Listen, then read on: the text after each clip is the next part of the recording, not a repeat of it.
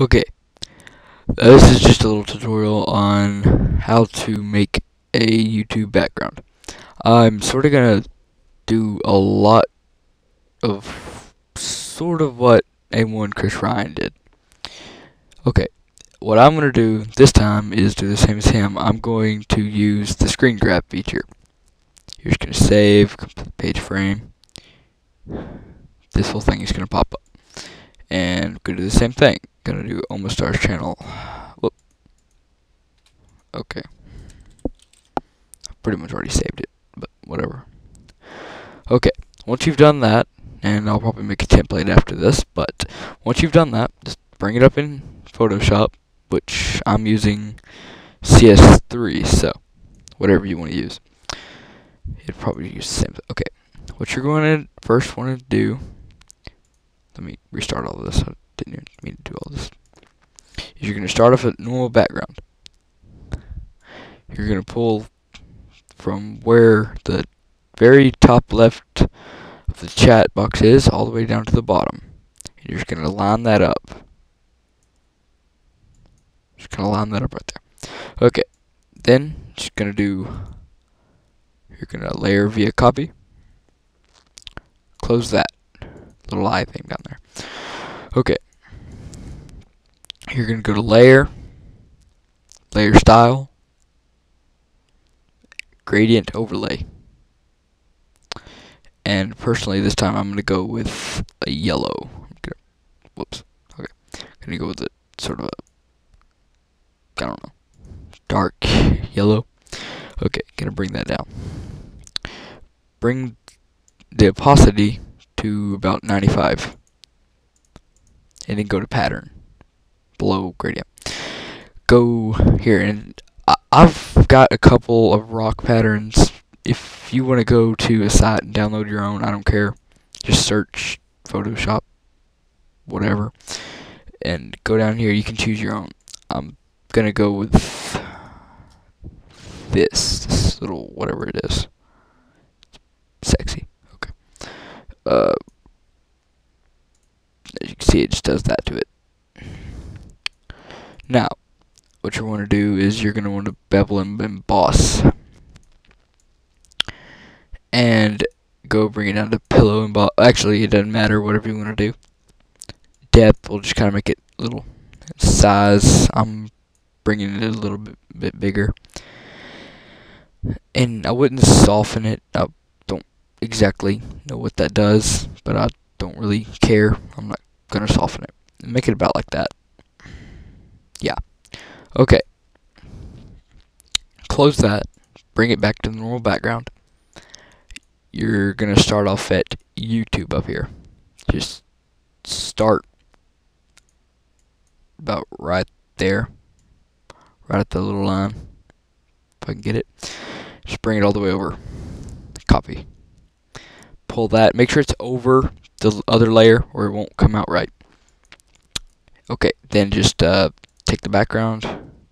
Make sure it's probably up. You're going to want to do that. Layer style, outer glow. You're going to do white. You're going to make sure the make sure it's on normal or opacity and opacity is on 100 or this will not work. Now if you want to color it in, I don't care, but before you do outer glow, go to color overlay and make it white. Just make everything white. Okay, then go back to outer glow you're going to want to bring spread out a lot and bring it to where, as you can see way up there, bring it to where it's like touching the top of the little subscribe box thing. Just make sure it's touching that because it'll go all the way over. Okay, bring that down. Now, the easier way to do this is if you're making a banner all the way across like almost our eyes right now. You're I'm not going to do that. I'm going to make it where it's round. Okay, make if you want to do this, make sure it's on rounded rectangle down here. Bring that out.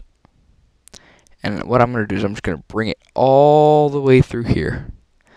And make sure it's not touching the YouTube top or it'll go over it. Okay, um, right now it's black. Okay, just layer style.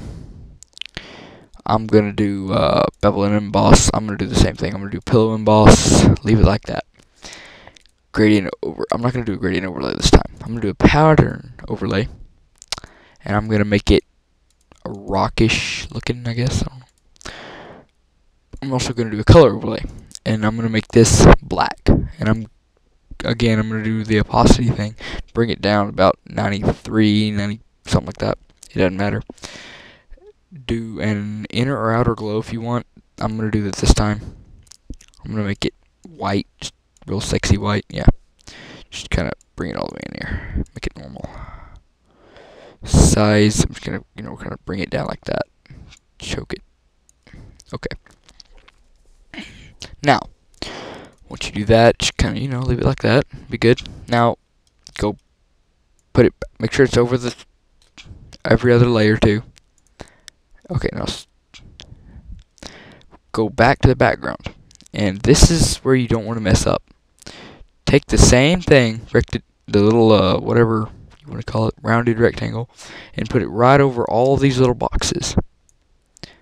And it, it should just do that, or make it a little bit better. It should just make it to where it's, you know, the same as the last one. And that way, you know, be right over it. Except, I'm going to remove the inner glow on this one.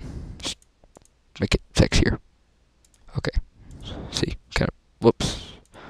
Don't know if I'm going to want to do that. Move this one up a little bit. Hmm. Yeah. Okay, now, just pull all those down, it doesn't matter. Okay. I, if you want to add the little text to the featured, you can do that yourself. That'll be fine. Just, you know, take the little text bar down here, make sure it's over background, and just, yeah, go from there.